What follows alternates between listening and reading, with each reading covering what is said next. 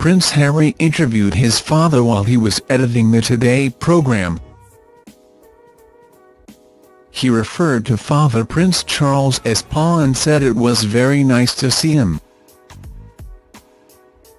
The 33-year-old told the Prince of Wales that he picks his brain more than ever.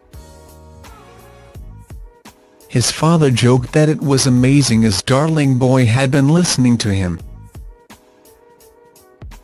Prince Charles today called Prince Harry his darling boy after his son told him he picks his brains more now than ever during a radio interview.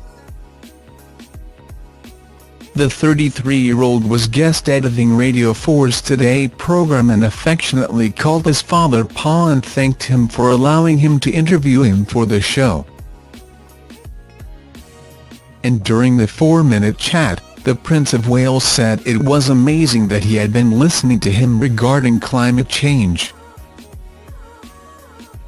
The pair started talking about the planet and the 69-year-old joked that people are finally waking up to his gaudy opinions about the environment. When asked by his son to pick one issue to focus on, Charles said over the years there have been a whole lot of things he has tried to focus on that he thought needed attention.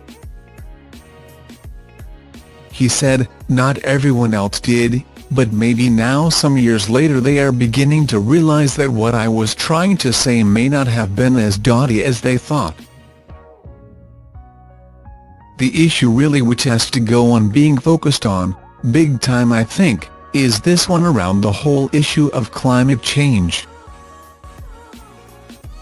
Which is now, whether we like it or not, is the biggest threat multiplier we face because what is happening now is what I was dreading. Which is we are having to deal all the time with the symptoms that are springing up all around the world, and they are diverting us off down all these different channels to try and deal with ghastly conflicts and humanitarian and natural disasters, and goodness knows what else. But at the root of it all, much of it, is climate change which is causing untold horrors in different parts of the world. When he started the interview, Prince Harry referred to his father as Pa and said it was very nice to see him. He later asked him, moving on, I know the two of us could end up talking about this for hours and hours and hours of which we always do but not with a microphone in front of us. But do you feel optimistic about the future, for the world that William, myself, your grandchildren and everyone else out there is going to inherit. His father replied, well my dear boy if I must say so, the fact you're saying this, gives me enormous optimism.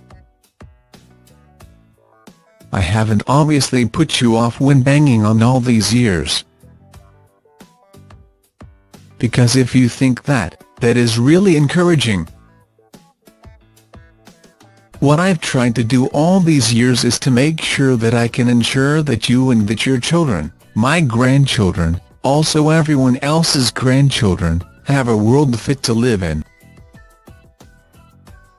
Harry later told him, I totally see it and I totally understand it because of all these years of conversations that we've been having and I do end up picking your brains more now than I ever have done. His father added, well darling boy it makes me very proud to think that you understand. Harry then joked, and that I'm listening? Well that's even more amazing, his father said.